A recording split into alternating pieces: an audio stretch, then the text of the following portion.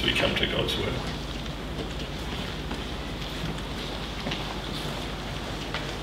Lord, you have spoken so much to us uh, over these past several months as we've uh, worked our way through the book of Exodus.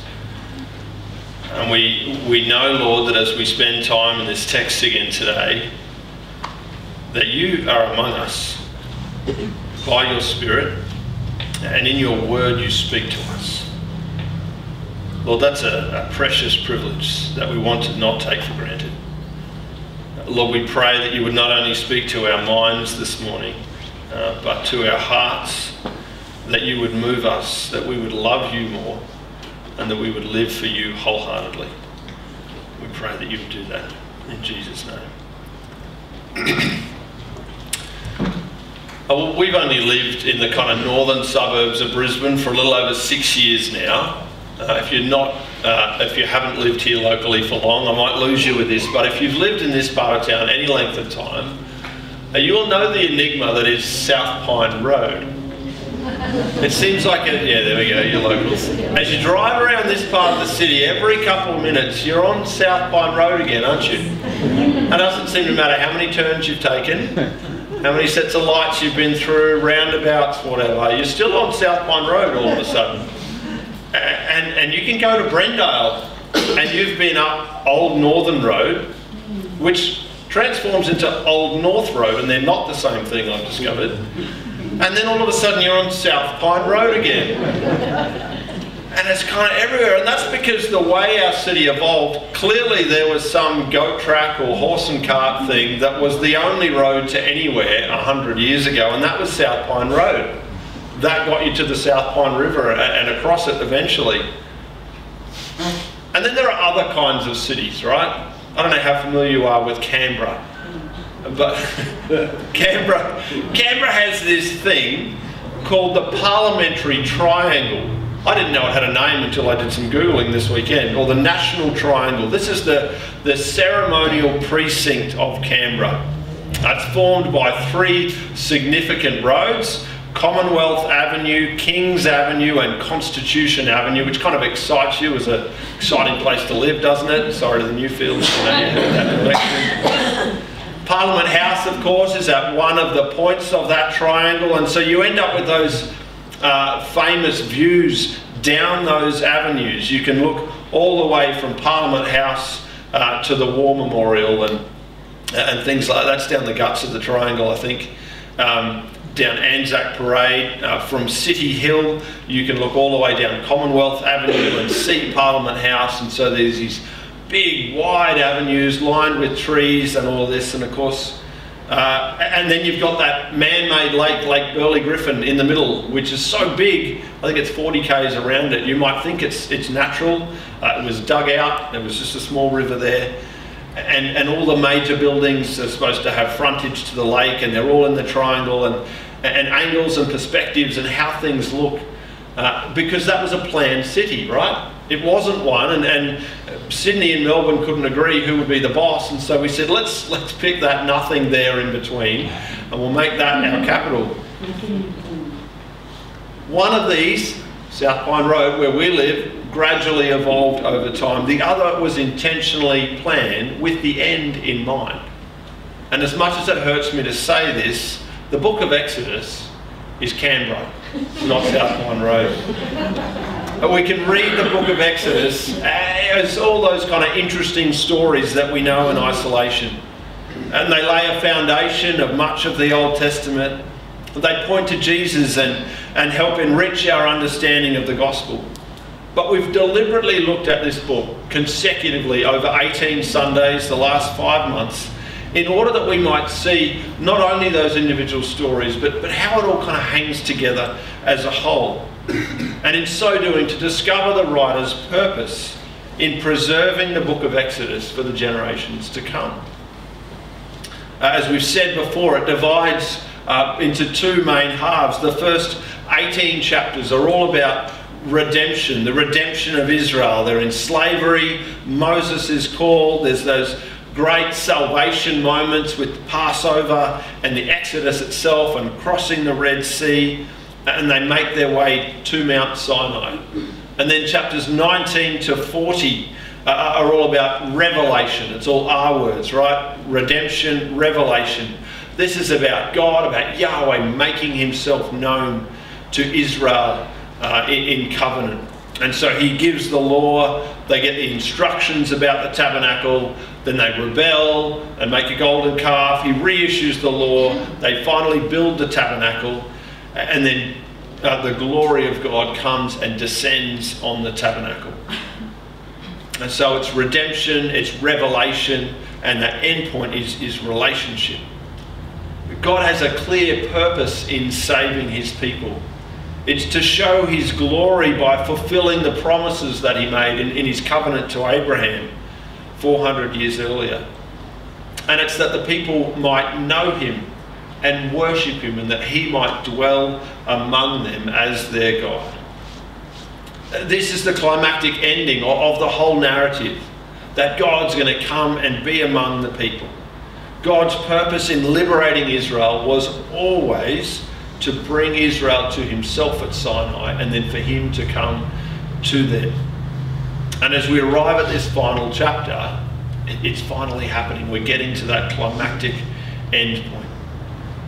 Uh, the first 16 verses of this final chapter, uh, which we're going to have read to us, uh, record God's instructions to Moses about the assembly of the tabernacle. If you were here last week, you'll know we've had all the, the building of the bits for the tabernacle, the description of what to do was given chapters earlier, and finally here's Moses uh, putting it all together. Now, the first two verses of chapter 40 say, Then the Lord said to Moses, Set up the tabernacle, the tent of meeting, on the first day uh, of the first month. Uh, the command to, to put this together, notice, is to happen on the first day of the first month. Verse 17, if you look down, uh, reiterates this and adds it's the first day of the first month in the second year. This is just under a year since the Israelites were set free from slavery in Egypt. That's when they were to begin their calendar. It's the, the first anniversary of the Passover is about to be celebrated. Now, it may be that parts of the tabernacle were, were ready ahead of this date, but the assembly is to coincide with this moment uh, with this significant day It's to be the celebration of a new year, a new start for God's people, a new opening to worship God. Uh, in the first uh, eight verses or so, it, it's all about setting this up. The description here of what Moses is doing in assembling the tabernacle is pretty brief, kind of finally. We've had lots of details. Of course, the relevant details have all come earlier. Uh, but the sense we get is that there's a place for everything and everything's in its place. Uh, notice, scan through those um, first eight verses. Notice all the verbs that are in there. I feel like I'm back at high school or primary school doing an assignment where you got to circle the verbs and underline the nouns or something like that, which is what happened in my preparation this week. But the verbs give us a, clear kind of pattern in the assembly of the tabernacle. Now, verses 1 to 8, you're constantly reading place this, put this, uh, set this up, set out, etc. Um, and then verses 9 to 11 is about consecrating the, the stuff, the parts of the tabernacle. And verses 12 to 16, they're consecrating or anointing the priests themselves. Uh, so verses 1 to 8 is, is setting it up, um, placing everything, putting everything in its place.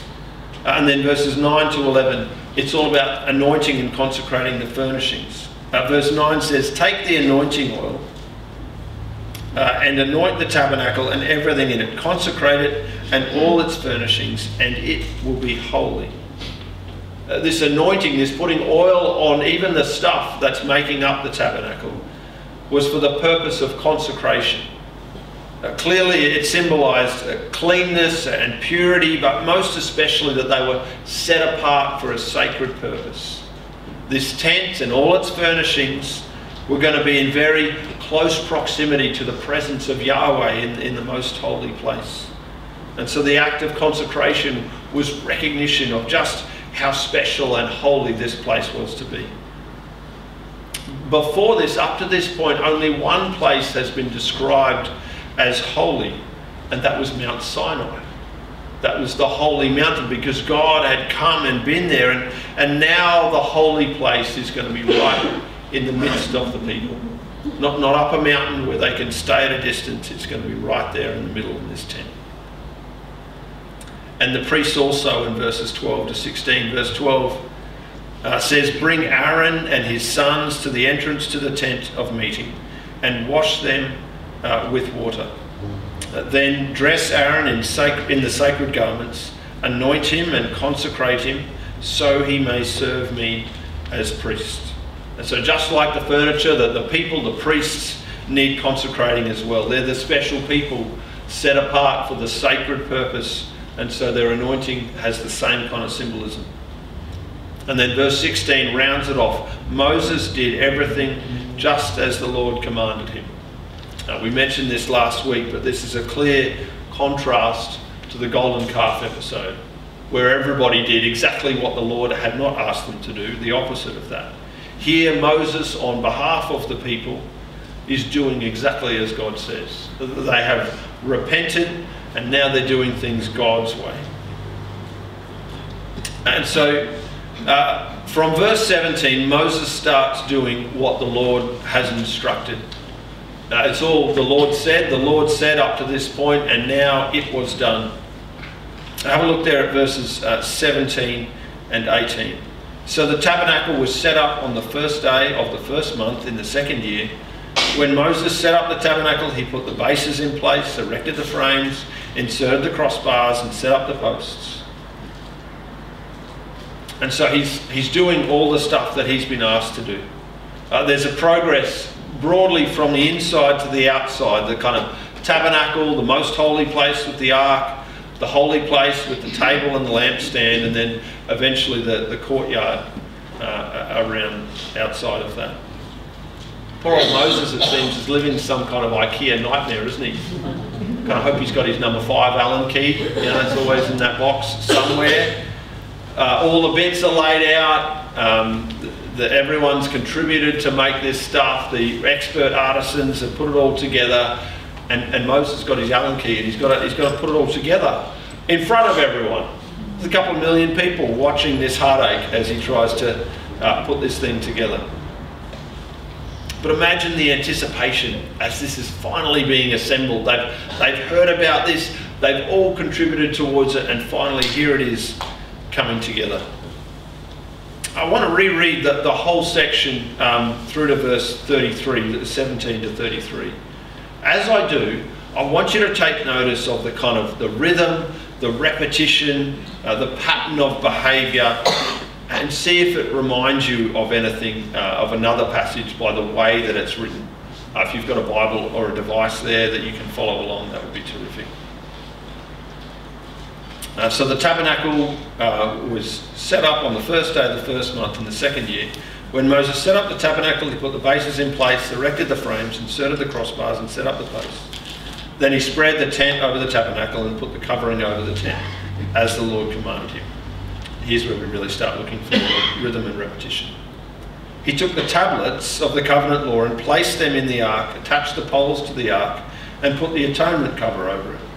Then he brought the ark into the tabernacle and hung the shielding curtain, shielded uh, and shielded the ark of the covenant law, as the Lord commanded him. Moses placed the table in the tent of meeting on the north side of the tabernacle outside the curtain, and set out the bread on it before the Lord, as the Lord commanded him.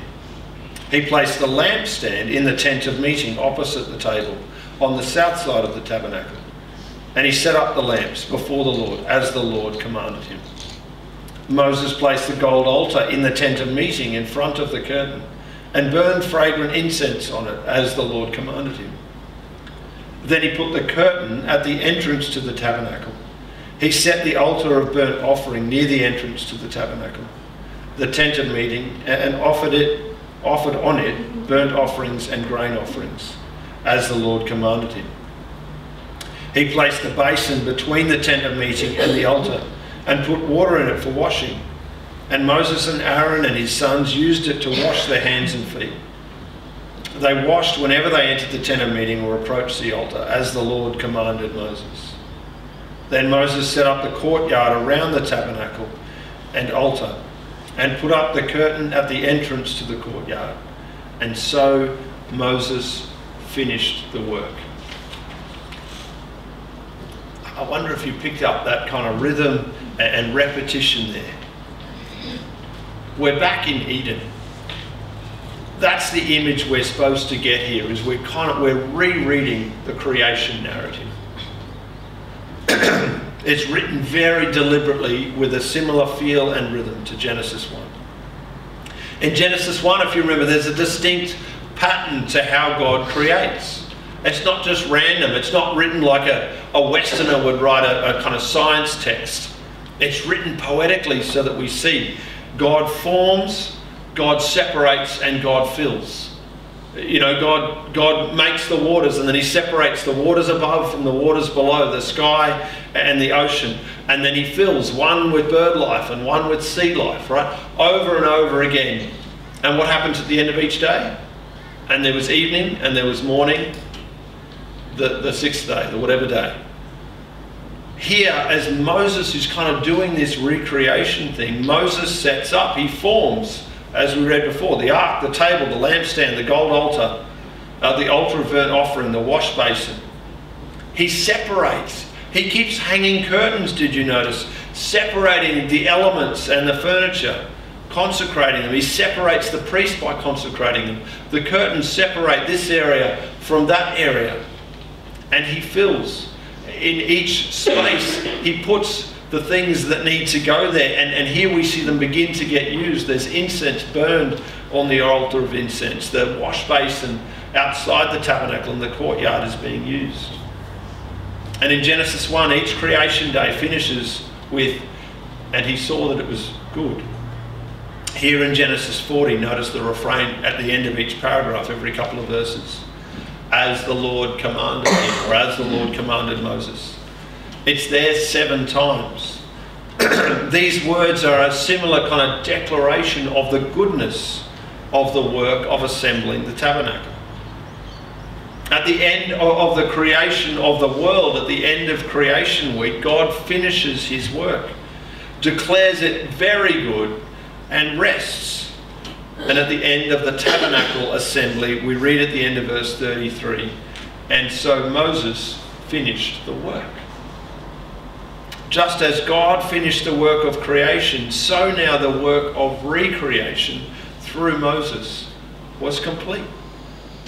Everything had been done right, everything was ready.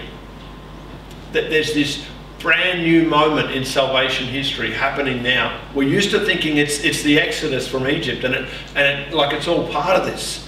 But at this point in the final chapter, very clearly the symbolism is there's a new start, something new is happening. One thing remained. The one thing was for God to come and dwell among his people. In Eden, of course, he walked in the garden with Adam and Eve, didn't he? And so now, having created a mini Eden uh, with the tabernacle, the one thing that remains is for God to come, for the glory of God to enter and to dwell there. And so we pick up at verse 34. then the cloud covered the tent of meeting, and the glory of the Lord filled the tabernacle. Moses could not enter the tent of meeting because the cloud had settled on it and the glory of the Lord filled the tabernacle. Immediately, as Moses finishes the work of assembling the tabernacle and all its elements, the cloud comes down and, and covers the tent of meeting. This gives this kind of divine seal of approval to the work that Moses has done on behalf of the people. The presence of the cloud was the end point of the successful, obedient completion of this project. It's ready now for the presence of the Lord to inhabit it. But it indicates even so much more than that. The cloud is the way God chose to manifest himself, so, so that the people can see that God has come. It's always associated with God's glory. It displays his, his presence and his glory in the way that they could see. Remember, the cloud first appeared to guide and protect the Israelites as they were escaping Egypt and getting away from the Egyptian army through the Red Sea, protecting them from behind and guiding them forward. It led them through the wilderness toward Mount Sinai and it rested on Mount Sinai as the law was given. It had appeared over the tent of meeting, which Moses had erected. Uh, and he would go there and he would go into the tent, and the cloud would come just outside the tent. Uh, now that's been reversed. It had come down when the glory of God passed by Moses in chapter 34. And now it comes and it rests over the tabernacle. That This moment, kind of so long anticipated for the Israelites, and now finally completed. That the cloud rests, it, it settles upon the tabernacle. It's not moving anymore, it's here. And symbolized by the cloud, God's glory filled the tabernacle. God's glory, that, that's the weightiness of his divine being, the infinite perfection of, of his deity. The glory is kind of the, the whole godness of God, is what that's all trying to grasp at. The glory of the Lord has come and filled a tent which they had made for God. That's astonishing, isn't it? It's unimaginable. It's outrageous and kind of scandalous the glory of the Lord filling the tabernacle was the clearest indication God could give that God is fully in covenant relationship with the Israelites. He'd entered his house, his, his tent to dwell among them. His glory has settled and, it, and it's filled there, and he's made sure that they could see it. This is exactly what the Israelites have been anticipating uh, since the end of the instructions about building the tabernacle and, and all of that. It's the culmination of everything God has been working towards in the whole book of Exodus, since rescuing his people. I'm going to rescue you so that we can go to Mount Sinai and you can worship me there and we can meet together. We can do this relationship thing. This doesn't feel that much like a climax to us, does it? I think it's the crossing of the Red Sea that, that feels like the climax to us. Often that's where it ends when we teach this stuff at Sunday school. You'd be happy to know our Kids and Kids Club have been working through Exodus and some of the subsequent stories this term. My kids now know about the tabernacle. Uh, can I encourage you over morning tea, find a kid that looks like they're in primary school and ask them what they've been learning, what they've been discovering doesn't feel like that much of a climax to us that the tent's gone up and the clouds come down. But for the Israelites, this is momentous. For God, this is the destination his saving work has always been heading towards. And Israel is going to follow him wherever he goes. I get that picture of uh, Donkey and Shrek in the Shrek movies. I don't know if that's familiar to everyone. But that kind of annoying donkey is like Shrek, wherever you go, man, I'm coming. And it's kind of, it's, it's warm and loving and it's, oh my goodness, he's coming with me everywhere. That, that's the kind of sense in these last couple of verses. It finishes with a picture of the future.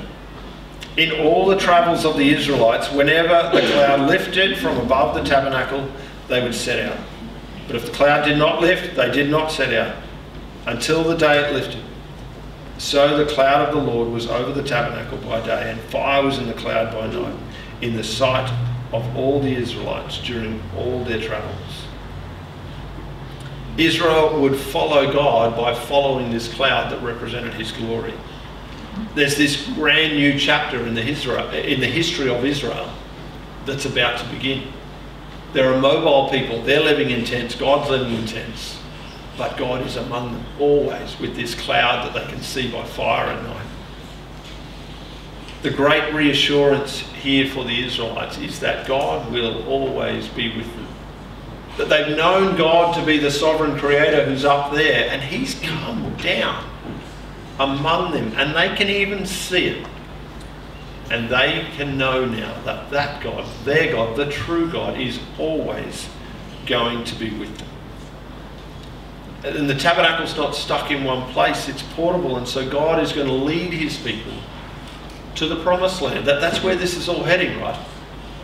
Leviticus is next, and then Numbers as they begin the journey, Deuteronomy, where Moses gives his final speech, and then Joshua takes over, and in they go.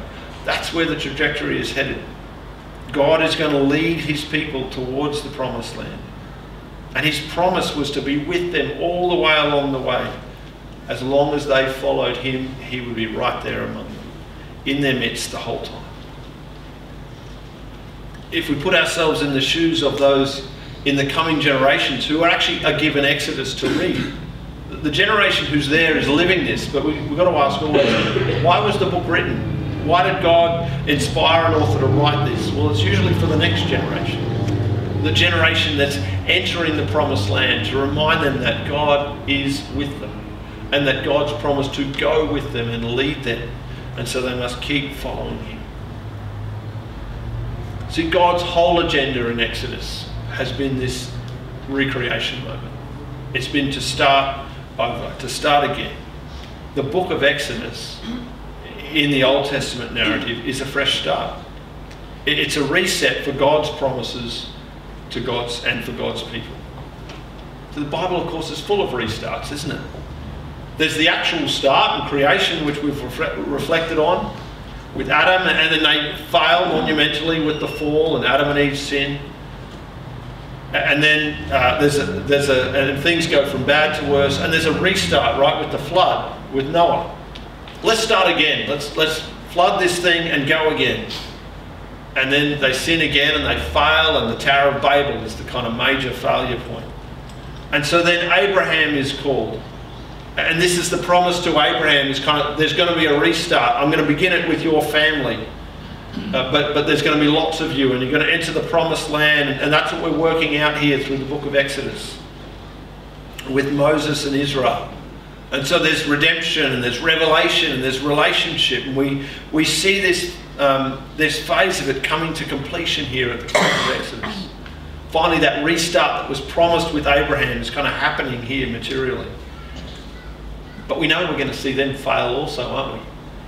Leviticus is a book full of instructions, and then Numbers is just begins their failure. They're, they're grumbling, they're complaining, they're lack of trust in God. And read the rest of the Old Testament. They're going to fail again and again and again.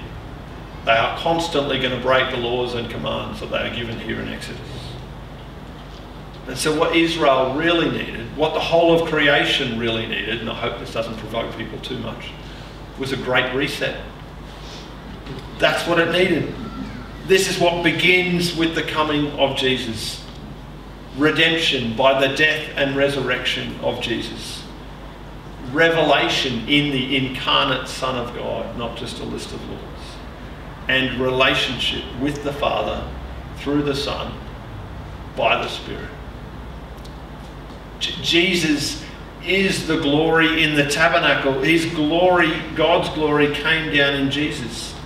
John 1 14, the Word became flesh and made his dwelling among us. We have seen his glory, the glory of the one and only Son who came from the Father, full of grace and truth. Hebrews 1 uh, verse 3 the Son is the radiance of God's glory, the exact representation of his being. 2 Corinthians 4 verse 6 for God who said, Let light shine out of darkness, made his light shine in our hearts to give us the light of the knowledge of God's glory displayed in the face of Christ. That glorious moment where the glory of God descended on the tabernacle is repeated in Jesus' coming. The glory of God descending. And then by his Spirit in, in us. And so in Jesus, just as God finished his work of creation, Moses finished the work of setting up the tent. In Jesus, the work is finished. Everything is set up for another reset, for God to do relationship with us. The way has been made for relationship with God by Jesus coming. And, and there's an even greater reset coming still when Jesus returns once more and inaugurates the new creation. Revelation gives us a picture of the new heavens and the new earth and of God's glory filling his heavenly temple in Revelation 15, verse 8, and the temple was filled with smoke from the glory of God and from his power. Sound familiar? It's all going to happen again, this, uh, this final reset. See, God didn't just save Israel to leave them in the wilderness.